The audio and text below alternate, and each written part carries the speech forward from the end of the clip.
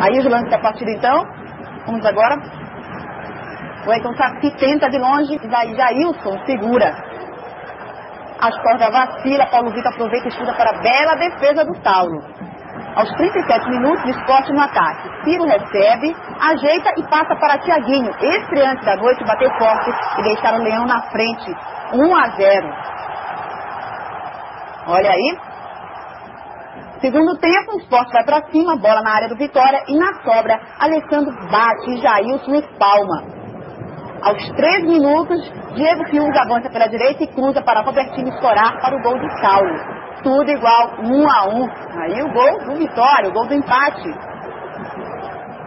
Diego Fiuza entra na área do esporte, puxa para a esquerda e chuta com muito perigo. Passou perto, hein? Aos 45 minutos, o lance incrível. Falta para o esporte, certo? Aí tudo bem, olha o goleiro Saulo. Vai para a área.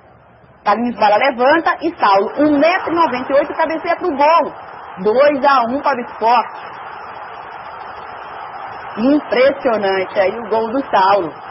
E delírio da torcida, né, Fabiana? Com certeza, todo mundo que estava lá acompanhando, Finalzinho quem estava também ouvindo rádio, e aí o Saulo foi comemorar.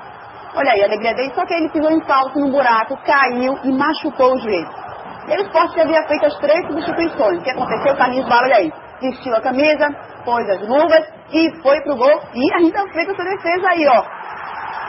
Subiu, mate todo mundo e conseguiu,